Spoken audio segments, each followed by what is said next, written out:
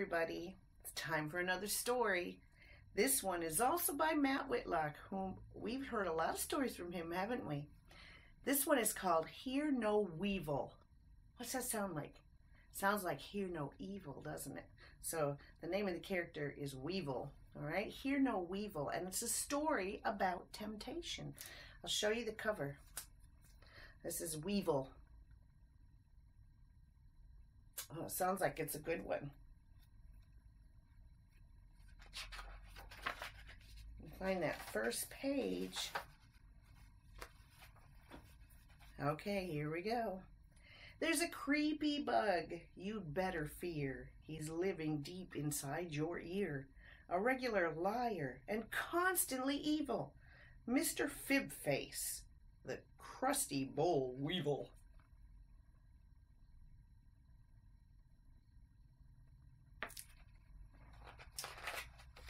Pages are coming out in this book, so I have to be careful.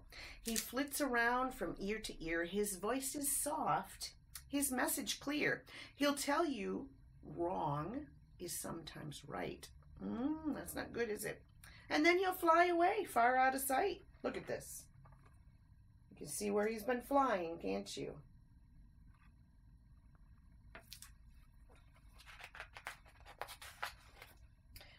But though he's gone, his words remain. They start to seep into your brain. Temptations quickly volunteer, and soon the truth is not so clear.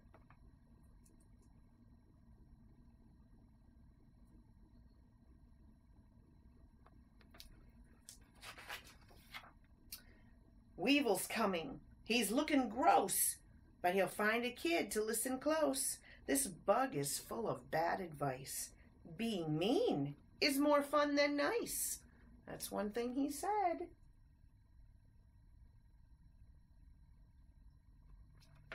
Hmm, is that right? He loves the school, so in he zooms. Hey, listen, Mike. This joint's a tomb, but you could make the whole class laugh. Just say that Jill's a big giraffe. Ooh, is that something that he should do? But the Weevil's telling him, isn't he? Temptation.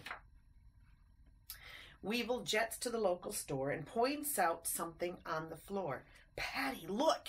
A dollar! Wow! The lady dropped it. Grab it now. Mmm. Is that something Patty should do?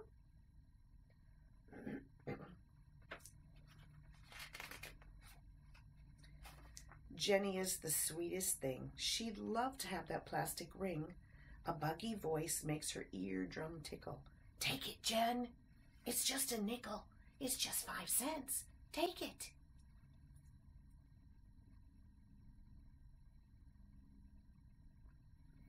Should she take it? But Jenny's not a silly fool. She's learned some things in Sunday school. She knows her thoughts aren't always pure and prays whenever she's unsure. Wow, that is a very good thing to do. She's talking to God about whether she should take that ring from the store. When Weevil's words get in her head, she just asks God what to do instead. I'd like to keep it, but that'd be wrong. I'll put it back where it belongs.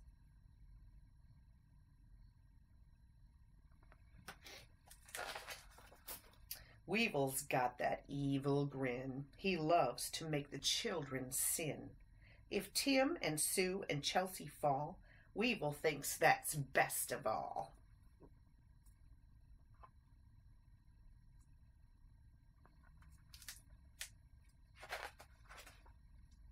He gears up for a swift attack, but something stops him in his tracks.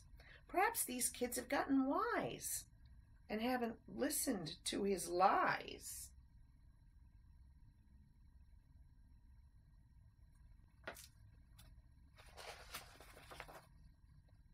Jenny's gathered all her friends. She's got advice to recommend. You know that bug just can't be trusted. Sorry, Weevil, you've been busted.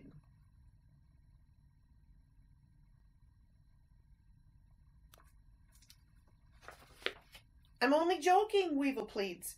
I'd never do those evil deeds.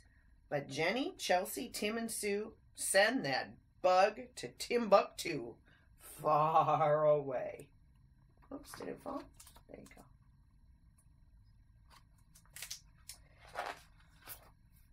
So if there's twitching in your ear, watch out for weevil buzzing near. Pray you'll lose that nasty bug, because praying makes good earplugs. Let's see if I can turn this around so you can see.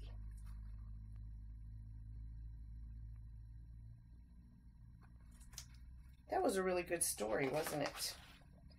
Now we know there's not really something called Weevil that talks to us and makes us do things wrong, don't we? But what a great story because it's about temptation and temptation is real. Temptation is when we want to do something that's wrong, that goes against what God wants. So what what that little girl said in here about praying to God when we're not sure about something, whether it's right or wrong, that's really good advice. That's that was a good story, wasn't it? All right, I want you to remember what that story was about this week. Okay? And be careful when you are tempted to do the wrong thing. Talk to God.